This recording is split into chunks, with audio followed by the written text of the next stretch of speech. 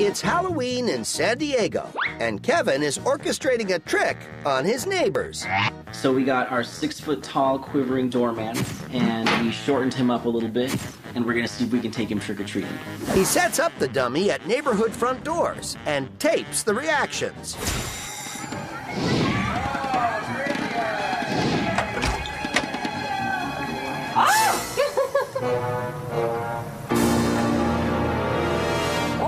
Goodness!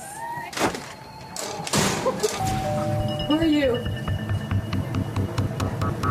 You're pretty good. Okay.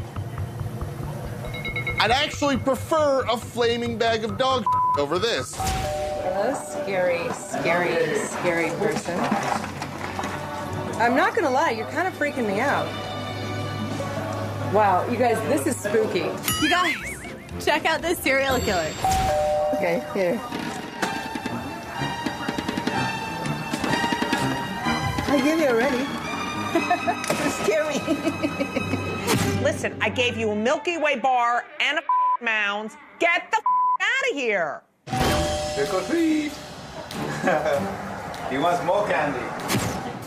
Yeah. Is that good? Okay. Bye. You don't know is it going to explode? Is he going to flash? Is he going to pull out his Johnson?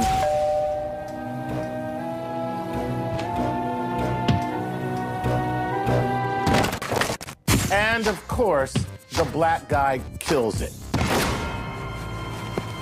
What the hell?